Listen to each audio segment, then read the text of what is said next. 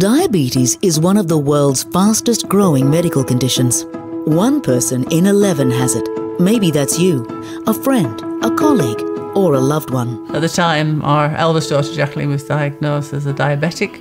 She was only five and a half. We found it very difficult to deal with at the time because we had three other young children there. I remember I was angry at the time and I had to get over that because I thought this is an intrusion in my life. This course is for everyone who wants to learn more about how to live well with diabetes.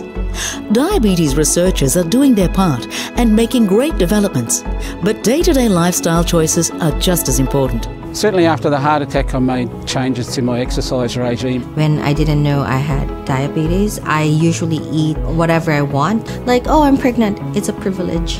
Everybody's different, so there's no book to tell you what's right or wrong. Learning to manage eating habits, physical activity, stress levels, and medication can be a balancing act.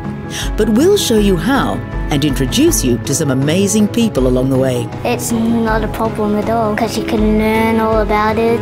Whatever you're going through with diabetes, there's there's always someone there to help. Diabetes has not prevented me from doing anything like walking on the Inca Trail.